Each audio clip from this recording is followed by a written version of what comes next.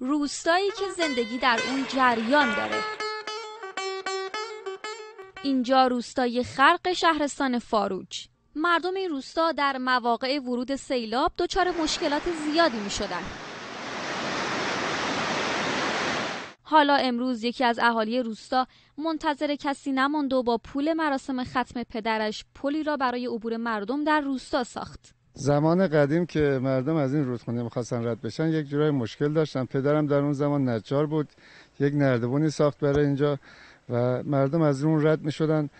بعد از فوت پدرمون ما تصمیم گرفتیم که راه ایشون ادامه بدیم. پلی که حالا مردم میگن هر وقت از اون عبور می‌کنند یاد اون مرحوم رو گرامی میدارن.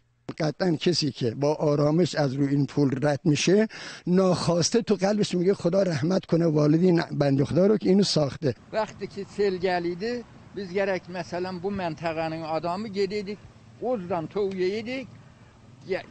gediydik işimsin üstüne حالا هر وقت کسی از این پل میگذره وصیتی می‌کنه شبیه به اون. بعد از اینکه پل ساخته شده برای مردم الگو شده. وصیت کردم برای بچه‌ام که اگر من از دنیا رفتم برای خرج دفن و کفن اینا را به مشکلات روستا خرج کنه وقتی وراز شروع به ساخت این پل کردن قیمت‌های گرون براشون ارزون از آب در اومد. هر جایی که می‌رفتیم مساله رو بگیریم وقتی میفهمیدن که این کار آمال منفعه بود و کار خیری بود هر کس به نوبه خودش یک تخفیفی رو به ما می‌دادن. حبیب خانم که دلتنگ همسرشه هر روز از پشت قاب این پنجره مردمی که از پل عبور می‌کنند رو نگاه می‌کنه.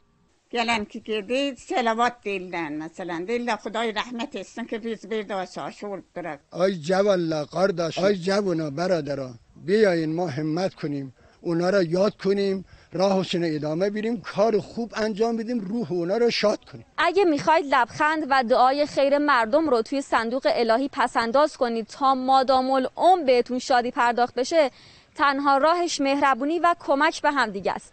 فاطمه خبرگزاری صدا و سیما روستای خرق شهرستان فاروچ.